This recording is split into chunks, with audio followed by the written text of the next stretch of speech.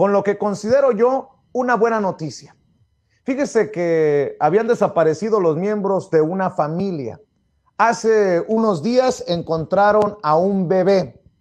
Esta madrugada apareció afortunadamente la familia Villaseñor Romo en Zapotlanejo, Jalisco, viva.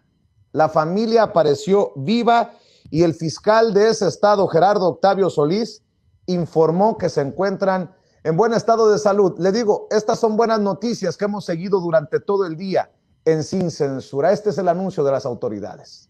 Un seguimiento durante todos estos días.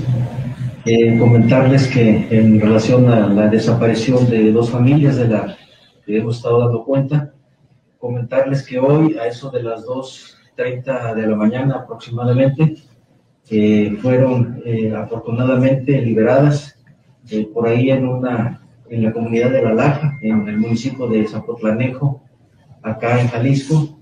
Eh, las cuatro personas se encuentran en buen estado de salud. Hay aquí un grupo de médicos eh, revisándolos.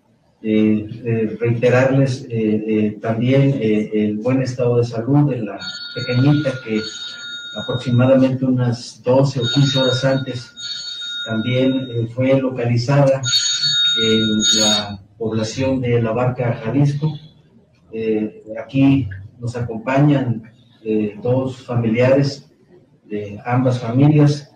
Eh, comentarles también que queremos hacer un agradecimiento a la Secretaría de la Defensa Nacional, a la Guardia Nacional, a Protección Civil, a la Comisión Estatal de Búsqueda, a la Secretaría de Seguridad, todas aquellas dependencias, a la Secretaría de Seguridad Nacional, eh, por conducto del, de su secretaria y el subsecretario, eh, dado que todo este tiempo eh, sentimos el acompañamiento y el apoyo con la coordinación de todos los operativos de los que ustedes dieron cuenta.